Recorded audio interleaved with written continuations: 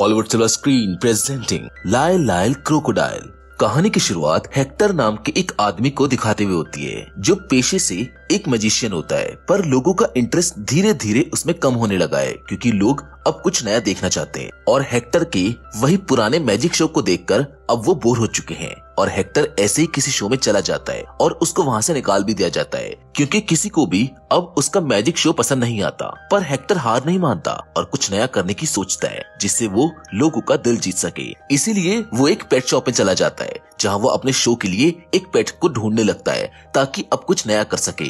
पर तभी उसको किसी के गाने की आवाज़ आती है, और वो उस आवाज़ को सुनते हुए उस जगह पहुँच जाता है, जहाँ उसको एक छोटा सा क्रोकोडाइल दिखता है, जो गाना गा रहा होता है। वो दिखने में बहुत प्यारा है, जिसको देखकर हेक्टर को समझ आ जाता है कि अब वो कुछ नया कर सकता है, जो लोगों को बहुत ज़्यादा पसंद आएगा, और वो पेट शॉप से उस छोटे क्रोकोडाइल को अपने साथ अपने घर ले जाता है। हेक्टर उस छोटे से क्रोकोडाइल का नाम लाइल रखता है। वो उसे गाने के लिए भी कहता है, पर लाइल को तो ठंड लगने लगी थी। ये जगह उसके लिए बिल्कुल नई थी। हेक्टर समझ जाता है, इसीलिए वो उसको अपना स्कार्फ पहना देता है, जिससे लाइल को अच्छा महसूस होता है। पर फिर भी वो गाना नहीं गाता। अब हेक्टर ये नोटिस करता है कि अगर वो खुद गाना गाए तो शायद लाइल भी उसके साथ गाना गाने लगेगा। और होता भी ऐसा ही है, वो दोनों साथ में गाना गाने लगते हैं। हेक्टर और लाइल अपने शो के लिए प्रैक्टिस करते रहते हैं। ऐसे ही अब बहुत दिन बीत जाते हैं। अब लाइल भी थोड़ा बड़ा हो चुका था और वो दोनों अब बहुत अच्छे दोस्त बन चुके थे, जिसके बाद फिर हेक्टर कई लोगों से मिलता है, क्योंकि उसको अब लाइल के साथ एक नया शो करना है, जिसके लिए उन्होंने बहुत मेहनत की है। पर सब लोग उसे पैसे देने से साफ़ मना कर देते हैं, क्योंकि उसके पिछले शोज़ को देखते हुए किसी को भी उस पर भरोसा नहीं होता है। पर हेक्टर को खुद पर और लाइल पर पूरा भरोसा होता है। वो इस बार सक्सेसफुल ज़रूर होगा। इसीलिए वो पैसों के लिए अपना घर बार सब कुछ बेच देता है, जिसके बाद जब फाइनली उन दोनों का शो होता है तो स्टेज पर हेक्टर परफॉर्म करने लगता है। पर इतने सारे लोगों को एक साथ देखकर लाइल के मुँह से एक शब्द भी नहीं निकलता, और वो गाना नहीं गा पाता। मानो जैसे वो फ्रीज हो गया हो, और अब धीरे धीरे ऑडियंस भी जाने लगी थी। उनकी सारी मेहनत बेकार हो गई थी। हेक्टर को पूरा भरोसा था कि वो बहुत पैसे कमाएगा और सक्सेसफुल हो जाएगा, पर ऐसा कुछ नहीं होता। साथ ही अब उसके पास अपना घर भी नहीं है, क्योंकि उसने अपना सब कुछ इस शो पर लगा दिया था और अब सब कुछ खत्म हो चुका था, जिसके बाद हेक्टर लाइल को अपने उसी घर पर एक लेटर के साथ छोड़ देता है और लाइल से बहाना बनाकर वहाँ से चला जाता है, क्योंकि ना तो उसके पास खुद का घर है और ना ही पैसे, और ऐसे में वो लाइल की ज़िम्मेदारी भी नहीं उठा सकता। वो वहाँ से चला जाता है। जिसके बाद सीन शिफ्ट होता है और हमें 18 महीने बाद का सीन दिखाया जाता है, जहाँ एक फैमिली हेक्टर के घर में रहने के लिए आती है, जिसे उन्होंने खरीद लिया होता है। मिस्टर प्रिम और मिसेस प्रिम का एक बेटा होता है, जिसका नाम जॉश है, जिसके बाद वो फैमिली उस घर में रहने लगती है। पर एक दिन जॉश को अपने घर के ऊपर वाले रूम से आवाज़ आती है। ऊपर जाकर चेक करता है, जहाँ उसको एक बड़ा ग्लास का बॉक्स दिखता है, जिसमें लाइल एक स्टैचू की तरह खड़ा होता है, और उस बॉक्स पर वही लेटर लगा हुआ होता है, जिसको हेक्टर ने 18 महीने पहले लिखा था कि ये क्रोकोडाइल मेरा है। मैं एक मजिशियन हूँ और मेरा नाम हेक्टर है। और अगर आपको ये क्रोकोडाइल मिले तो प्लीज़ उसका ध्यान रखना। अब उस लेटर को पढ़कर जॉश वहाँ से जाने लगता है, क्योंकि उसको लगता है कि ये क्रोकोडाइल बस एक टॉय है, जिसके बाद अब हमको अगली रात का सीन दिखाया जाता है, जहाँ पर जॉश अपने नेबर की कैट के साथ अपने रूम में होता है। उसको अब एक बार फिर से ऊपर के रूम से किसी के गुनगुनाने की आवाज़ आने लगती है। इसीलिए जॉश वहाँ पर दोबारा चेक करने के लिए जाता है, जहाँ पहुँच वो देखता है की वो बॉक्स अब खाली है, जिसमें पहले लायल था, और जैसे ही वो पीछे मुड़ता है, उसको लायल दिखता है। जो वहीं पर खड़ा होता है, जो असल में गाना गा रहा होता है, वो अपने दो पैरों पर खड़ा होता है, जिसको देखकर जॉश डर जाता है और जॉश को डरता देख लाइल भी डरने लगता है। पर तभी जॉश की वही कैट लाइल पर झपट पड़ती है। लाइल भी डरा हुआ था, इसलिए उसका मुँह खुला हुआ था और वो कैट सीधा लाइल के मुँह में चली जाती है, जिसको देख जॉश अब और भी ज़्यादा डर जाता है। वो लाइल के ऊपर गुस्सा करता है, जिसके बाद लाइल भी डरते हुए वहाँ से भाग जाता है। जॉश उसका पीछा करता है, जहाँ वो दोनों एक जगह पर आकर रुक जाते हैं, जिधर लाइल अपने मुँह से उस कैट को बाहर उगल देता है, जिसको देखकर जॉश समझ जाता है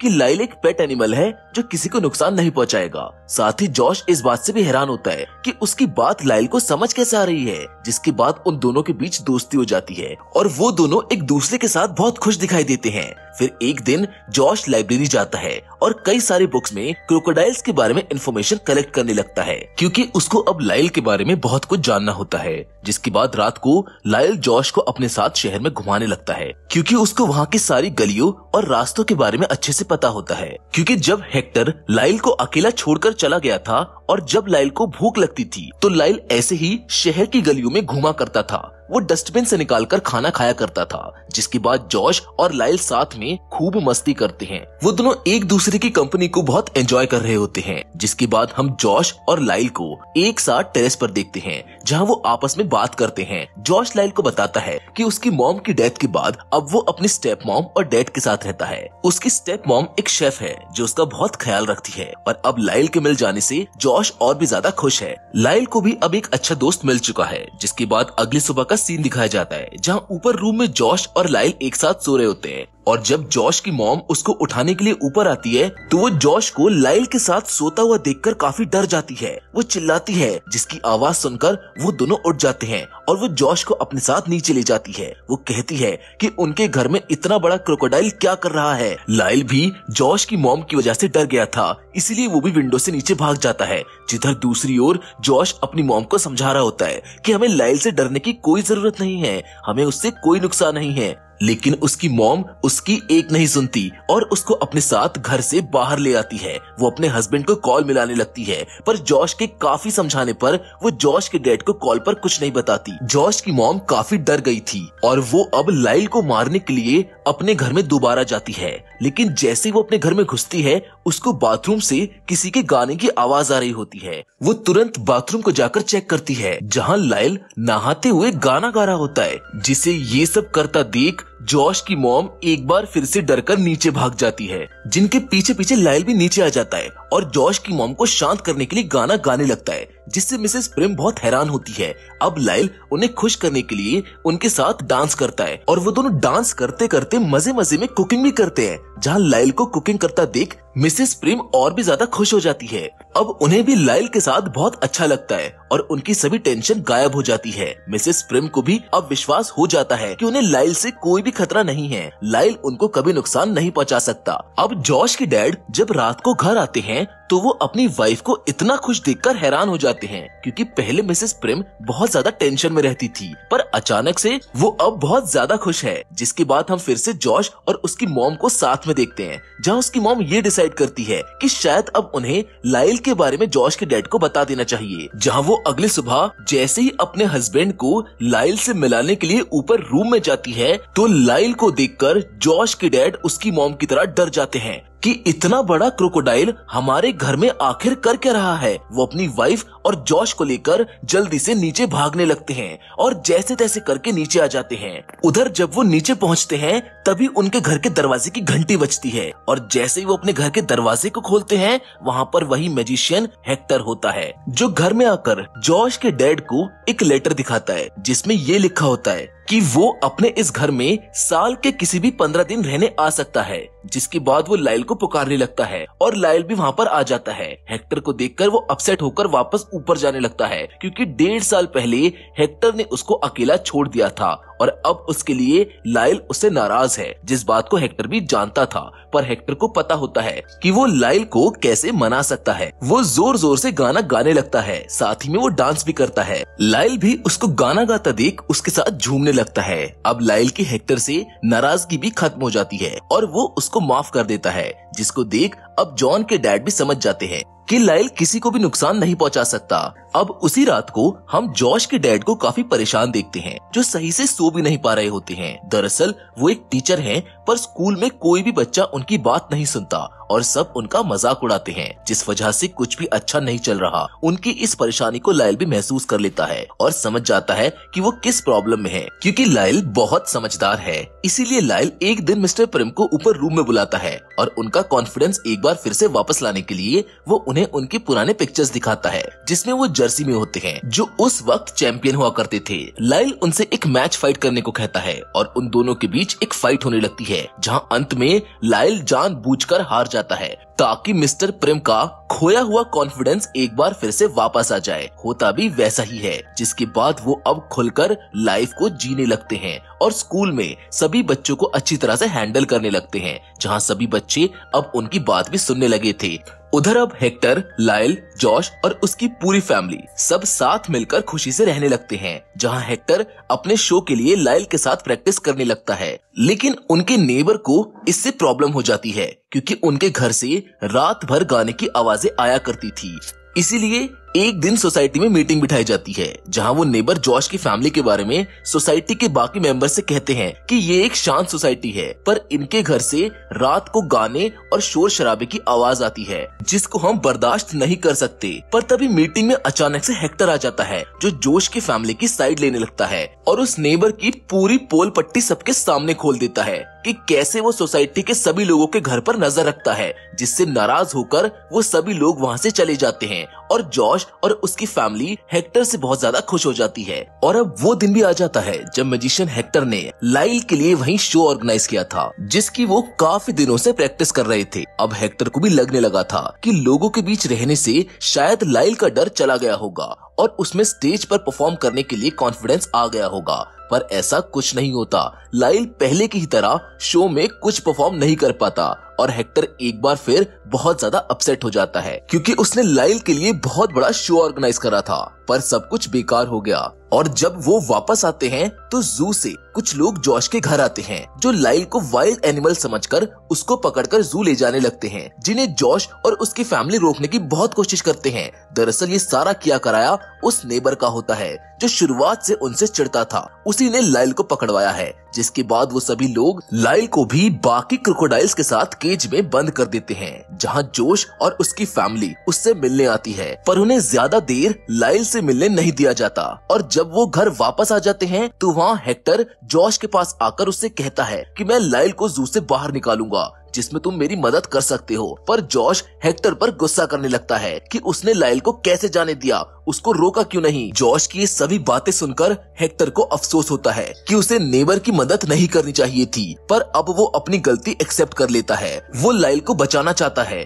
इसीलिए वो एक प्लान बनाता है कि चार बजे वो लाइल को जू से छुड़वा लेगा। जॉश भी उसका साथ देने के लिए मान जाता है। वो दोनों जू चले जाते हैं और हेक्टर वहाँ के सिक्योरिटी गार्ड्स को अपने मैजिक से उन्हीं के हैंड्स कप से बाँध देता है और लाइल के केज के अंदर चला जाता है, जहाँ हेक्टर को पता चलता है कि लाइल इस बार उससे बहुत ज़्यादा नाराज़ है। उधर ही केज के बाहर खड़ा जॉश हेक्टर से कहता है कि लाइल से माफ़ी मांगो, वो तुमको माफ़ कर देगा। और होता भी ऐसा ही है। लाइल उसको एक बार फिर से माफ़ कर देता है और वो सब लाइल को छुड़वा बाहर आ जाते हैं। पर बाहर पुलिस होती है, जो उनका इंतज़ार कर रही होती है। हेक्टर, लाइल और जॉश को भागने को कहता है और अपनी मैजिक फॉग बॉल से हर जगह धुआँ कर देता है, जिससे किसी को भी कुछ दिखाई नहीं देता।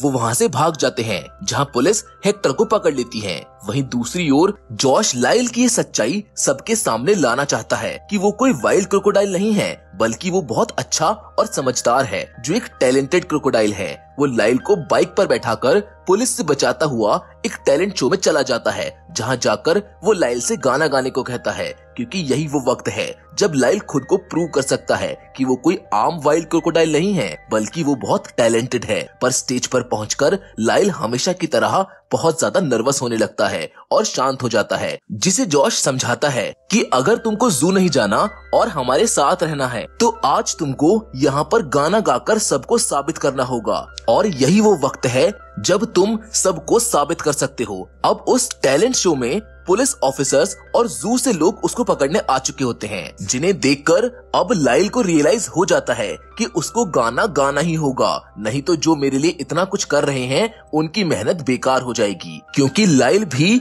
उन्हीं के साथ रहना चाहता था। इसीलिए वो स्टेज पर पूरे कॉन्फिडेंस के साथ गाना गाने लगता है। वो डांस भी करता है, जिसको देख पूरे टैलेंट शो की ऑडियंस बहुत ज़्यादा हैरान और खुश हो जाती है। सब लाइल को पसंद करते हैं। वो लाइल की बहुत तारीफ़ करते हैं, क्योंकि उन्होंने या फिर किसी ने भी ऐसा पहले कुछ देखा ही नहीं होता है। उधर उस शो में जॉश के मॉम डैड भी पहुँच जाते हैं, जो जॉश और लाइल को एक साथ नाश्ता गाता देख बहुत खुश होते हैं, जिसके बाद सीन शिफ्ट होता है और एक महीने बाद का सीन दिखाया जाता है, जहाँ जॉश की पूरी फैमिली और लाइल कोर्ट में होते हैं, क्योंकि उनके उसी नेबर ने उनके खिलाफ रिपोर्ट कर दी थी कि वो अपने घर में एक वाइल्ड क्रोकोडाइल को इलीगली रख रहे हैं, जो सबके लिए बहुत नुकसानदायक हो सकता है। इसीलिए उसको जू भेजा जाए। उधर अब जैसे ही जज अपना फैसला सुनाने वाला होता है, तभी वहाँ पर मैजिशियन हेक्टर आ जाता है, जो जज को एक डॉक्यूमेंट दिखाता है, जिसमें लिखा होता है कि उसके पास वाइल्ड एनिमल्स को घर में रखने की परमिशन है। दरअसल ये एक लाइसेंस होता है, जो हेक्टर की ग्रैंड मदर का था,